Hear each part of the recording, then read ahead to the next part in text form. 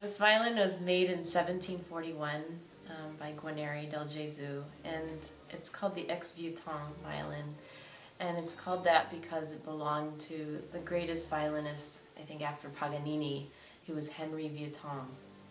And um, there's a really beautiful story about this violin in that Vieuxtemps was so moved by this instrument and its state of preservation, which is unparalleled and it's really in mint condition.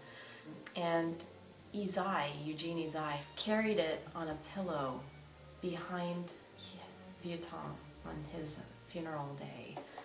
Um, and it, it gives me goosebumps just to even remember that photo and think of the history um, every time I pick up this violin and I play on it.